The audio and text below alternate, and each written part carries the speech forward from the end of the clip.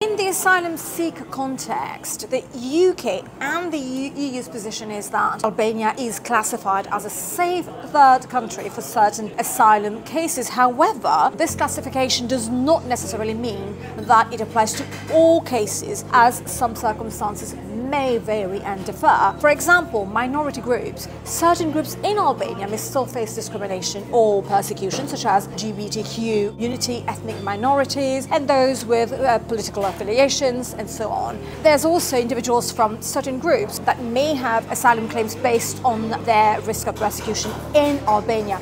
Gender based violence, women may face risks, additional persecution, and there is a general lack of effective protection measures in place in Albania. So asylum seekers from Albania, or those seeking asylum in the UK but passing through Albania, should present their circumstances that apply specifically to them, specific threats, for example, whilst presenting their asylum claims. This is something I can assist you. Please contact me.